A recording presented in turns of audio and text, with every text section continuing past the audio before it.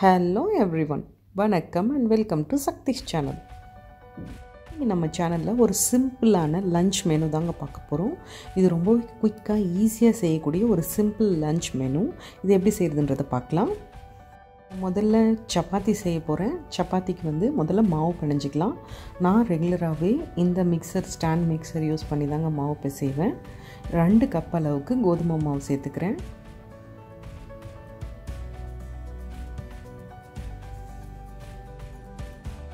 ரெண்டு ஸ்பூன் அளவுக்கு எண்ணெய் சேர்த்துக்கோங்க. கூடவே கொஞ்சமாக உப்பும் சேர்த்துக்கோங்க.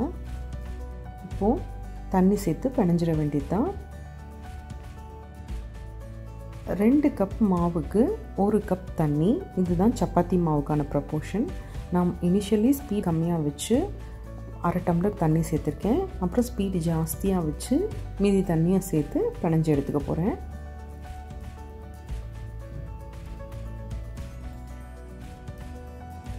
மாவு ரெடி ஆகிடுச்சு சப்பாத்தி மாவு. பாருங்கள் சூப்பராக பிசைஞ்சாச்சு. இந்த மாவை மூடி வச்சுட்டு அடுத்து நம்ம கிரேவி செய்ய ஆரம்பிக்கலாம். இன்றைக்கி காளான் குழம்பு செய்ய போகிறேன் காளான் குழம்புக்கு பார்த்திங்கன்னா ஒரு பெரிய வெங்காயம் நாலாக நறுக்கி மிக்சியில் சேர்த்துக்கிறேன். கூடவே ரெண்டு தக்காளி சேர்த்துக்கிறேன். ரெண்டாக நறுக்கி சேர்த்துக்கிறேன். சுதட்டை அரைக்கும் போது நல்லா ஈஸியாக அரைச்சிடலாம். அஞ்சு பல் அளவுக்கு பூண்டு. இது வந்து நறுக்கிட்டு சேர்த்தா ஈஸியாக மிஞ்சிடும் பூண்டு சேர்த்துட்டு நாலு துண்டு அளவுக்கு இஞ்சி. சின்ன சின்ன பீஸாக கட் பண்ணி அதையும் சேர்த்துக்கிறேன். அடுத்து ரெண்டு ஸ்பூன் அளவுக்கு கொத்தமல்லி தூள் சேர்த்துக்கோங்க. இப்போது இதை சூப்பராக ஃபைன் பேஸ்ட்டாக நல்லா மையாக அரைச்சி எடுத்துக்கலாம். பாருங்கள் சூப்பராக அரைச்சாச்சு. நல்லா ஃபைன் பேஸ்ட்டாக இருக்குது இப்போது நான் இன்றைக்கி அரை கிலோ அளவுக்கு காளான் எடுத்துக்கேன். ஒரு பேக்கெட் வந்து பார்த்திங்கன்னா டூ ஃபிஃப்டி கிராம்ஸ் இந்த மாதிரி நான் ரெண்டு பேக்கெட் சேர்த்துருக்கேன். So totally five hundred grams எடுத்துருக்கேன். காளானை நல்லா கழுவிட்டு இந்த மாதிரி நாலு நாளாக நறுக்கிக்கணும். ரொம்ப பொடியாக நறுக்க வேண்டாம். ஏன்னா நம்ம குழம்புல விட்டு கொதிக்கும் போது ஆட்டோமேட்டிக்காகவே அது சின்னதாக ஆகிடும் அதனால் நாளாக நறுக்கிக்கலாம். எல்லா காளானையும் நறுக்கியாச்சு.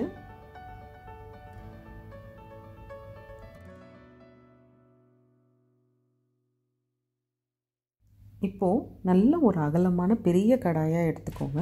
ஏன்னா காளான் வந்து ரொம்ப நிறைய குவான்டிட்டியாக இருக்கும். ஆனால் சமைச்சப்பறம் ரொம்ப கம்மியாக தான் கிடைக்கும். அதனால் பெரிய கடாயாக எடுத்துக்கோங்க. கடாயில் ரெண்டு டேபிள் ஸ்பூன் அளவுக்கு எண்ணெய் சேர்த்துக்கோங்க.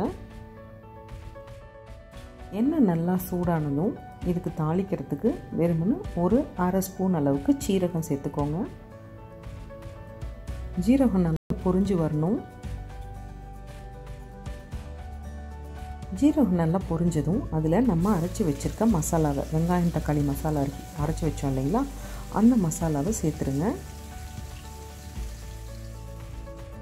இப்போ சூப்பராக இந்த எண்ணெயிலேயே இந்த வெங்காயம் தக்காளி இஞ்சி பூண்டு தனியா நல்லா வணங்கணும். பச்சை வாசனை போகிற அளவுக்கு வணங்கணும். இது கம்ப்ளீட்டாக வதங்கினதுக்கு அப்புறமா தான் இதில் மித்த மசாலாலாம் சேர்க்கணும்.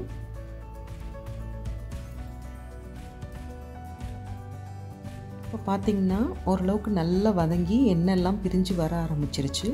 இந்த ஸ்டேஜில் ஒரு அரை ஸ்பூன் அளவுக்கு மிளகா பொடி சேர்த்துக்கோங்க.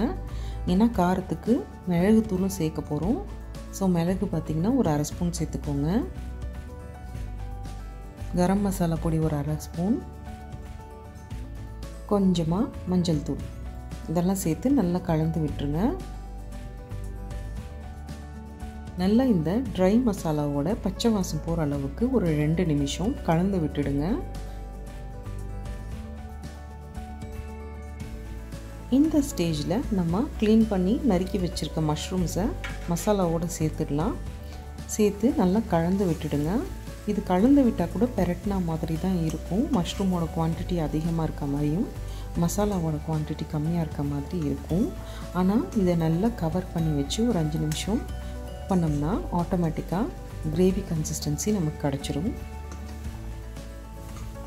இப்போ நல்லா கலந்து விட்டுடலாம்.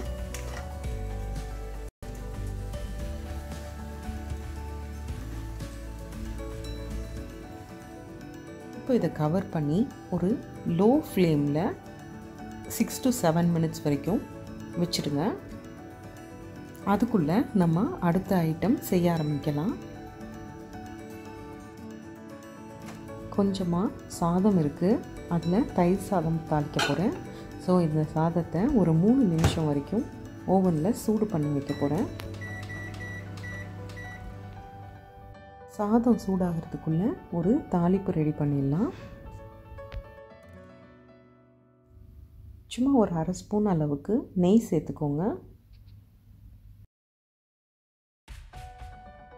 நெய் நல்லா சூடானதும் அதில் அரை ஸ்பூன் அளவுக்கு கடுகு சேர்த்துக்கோங்க. கடுகு பொரிஞ்சதும் கடலைப்பருப்பு உளுத்தம்பருப்பு சேர்த்துக்கலாம். கூடவே கொஞ்சமாக பெருங்காயத்தூள் சேர்த்துக்கோங்க. நல்லா அந்த கடலைப்பருப்பு உளுத்தம்பருப்பு லைட்டாக கலர் மாறணும். கூடவே ஒரு அரை ஸ்பூன் அளவுக்கு பொடியாக நறுக்குன இஞ்சி சேர்த்து நல்லா வதக்கிக்கோங்க. ஒரு ரெண்டு வரமிளகாவை கிள்ளி சேர்த்துக்கோங்க. ஈவன் பச்சை மிளகா கூட நறுக்கி சேர்த்துக்கலாம். சேர்த்து நல்லா அந்த எண்ணெயில் ஒரு வாட்டி கலந்து விட்டுடுங்க. இப்போது சாதம் நல்லா சூடாக இருக்குது இந்த சாதம் நல்லா சூடாக இருக்கும்போதே ஒரு ஸ்பூன் வச்சு நல்லா மசிச்சு விட்டுடுங்க. சூடாக இருக்கும்போதே நல்லா மசிக்க முடியும். அதனால் நல்லா மசிச்சு எடுத்துக்கலாம். இப்போது நம்ம மசிச்சு வச்ச சாதத்தில் தாளிப்பை சேர்த்துடலாம். சேர்த்து நல்லா கலந்து விட்டுடுங்க.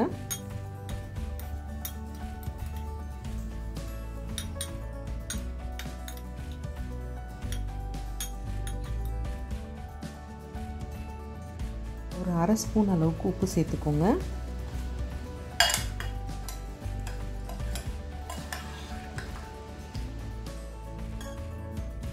ஒரு அரை கப் அளவுக்கு தயிர் நல்லா கலந்துட்டு கட்டி இல்லாத தயிராக பார்த்து சேர்த்துக்கோங்க. சேர்த்து நல்லா கட்டி இல்லாமல் நல்லா கலந்து விட்டுடுங்க ரைஸும் அந்த தயிரையும். அவ்வளோதான் சூப்பரான தயிர் சாதம் ரெடி ஆயிடுச்சு. இப்போது ஏழு நிமிஷம் ஆயிடுச்சு. பாருங்கள் சூப்பராக தண்ணி வந்திருக்கு நல்ல தண்ணி விட்டுருக்கு. ஆனாலும் க்ரன்ச்சினஸ் இருக்குது காளானில். இது உப்பு சேர்த்துருந்திங்கன்னா அதோடய க்ரன்ச்சினஸ் போயிடும். அதனால் எப்பயுமே காளான் சமைக்கும் போது கடைசியாக தான் உப்பு சேர்க்கணும்.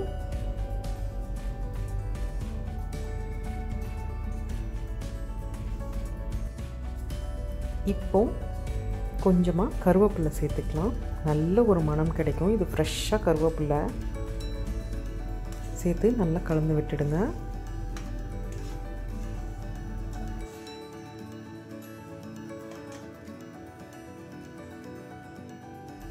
கடைசியாக இதில் உப்பு சேர்த்துக்கலாம். நான் ஒரு ஒரு ஸ்பூன் அளவுக்கு உப்பு சேர்க்குறேன். உங்களுக்கு கிரேவி கன்சிஸ்டன்சி இதுவே சரியாக போயிடும் அப்படின்னு நினச்சிங்கன்னா இப்படியே கலந்து இறக்கிடலாம் ஒரு ரெண்டு நிமிஷத்தில். பத்தில் இன்னும் கொஞ்சம் தண்ணியாக வேணும். ஒரு அரை டம்ளர் தண்ணி சேர்த்துக்கோங்க. தண்ணி சேர்த்து நல்லா கலந்து விட்டு ஒரு ரெண்டு நிமிஷம் கொதிச்சா போதும்.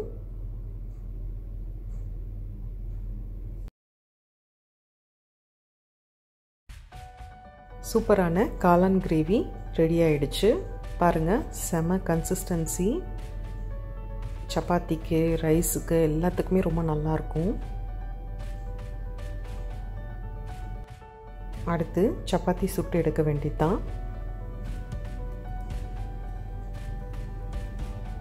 நல்லா ரெண்டு பக்கமும் திருப்பி விட்டு வேக விட்டுடுங்க.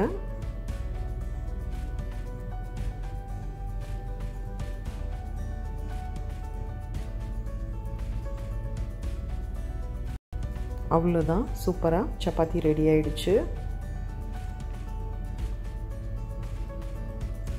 இதே மாதிரி எல்லா மாவுலேயும் சப்பாத்தி செஞ்சு எடுத்துட வேண்டியது தான் இப்போது லஞ்சை சர்வ் பண்ண போகிறேன் முதல்ல காளான் குழம்பு.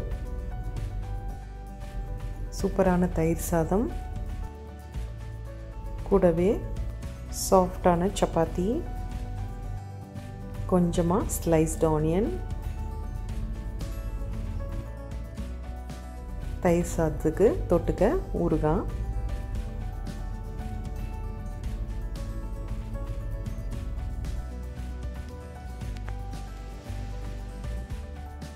இதுதான் இன்றைக்கி எங்களோட லஞ்ச் ரொம்பவே குயிக்காக ஈஸியாக சிம்பிளான ஒரு லஞ்ச் மெனு தான் இது. உங்களுக்கு இந்த ரெசிபி பிடிச்சிருந்தா கட்டாயம் ட்ரை பண்ணி பாருங்கள் இவ்வளோ நேரம் இந்த வீடியோவை பொறுமையாக பார்த்ததுக்கு ரொம்ப ரொம்ப நன்றி. வணக்கம்.